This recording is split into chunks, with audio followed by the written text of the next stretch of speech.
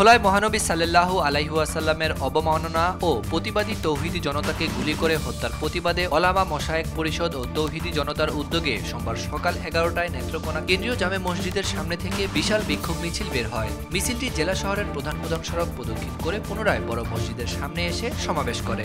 সমাবেশে এই নেককারজনক ঘটনার প্রতিবাদ এবং ঘটনার সাথে জড়িতদের ফাঁসির দাবি জানিয়ে বক্তব্য রাখেন নেত্রকোনা ইসলামী ঐক্যজোটের সভাপতি হাফেজ মাওলানা দেলোয়ার হোসাইন। নির্বাহী সভাপতি মাওলানা শরীফুদ্দিন তালুকদার সিনিয়র সহসভাপতি মোহাম্মদ আবুল কাশেম, সাধারণ সম্পাদক মাওলানা আবু সায়েম খান, খেলাফত আন্দোলন বিভাগীয় সমন্বয়কারী আব্দুর রাকিব, নেত্রকোনা কাউমি মহিলা মাদ্রাসার শিক্ষা বোর্ডের চেয়ারম্যান ও আল মদিনা হজের সিইও হাফেজ মাওলানা মোহাম্মদ আবদুল্লাহ, প্রচার সম্পাদক মাওলানা আব্দুল হালিম, জেলা যুব খেলাফত আন্দোলনের আমির গাজী আব্দুর রহিম, হাফেজ আবু বক্কর সিদ্দিক ও মাওলানা মোর্শেদ আলম সিরাজি সহ আরও অনেকে। পরে মুসলিম উম্মার ঐক্য ও শান্তি ও সমৃদ্ধি কামনা করে বিশেষ মোনাজাত পরিচালনার মাধ্যমে সমাবেশ সমাপ্ত হয়।